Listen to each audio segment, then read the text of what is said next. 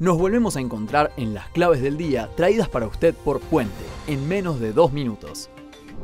La encuesta de expectativas empresariales de mayo reveló que la mediana de la inflación esperada por los empresarios que participaron de la encuesta se sitúa en 6% para el año 2024, en 6% interanual para abril de 2025 y en 6,5% interanual para abril de 2026. En el ámbito internacional, en una semana clave de cara a la segunda mitad del año, la Reserva Federal de Estados Unidos llevará a cabo una nueva reunión de política monetaria en la que se espera que se mantenga la tasa de referencia en el rango actual de 5,25% a 5,5%, a la vez que publicará la actualización trimestral de perspectivas macroeconómicas y del sendero futuro de tasas.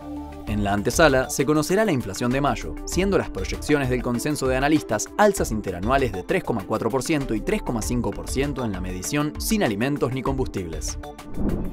Toda la información está aquí en las claves del día. Gracias por escucharnos. Acceda al informe completo en nuestra página web, puentenet.com.ui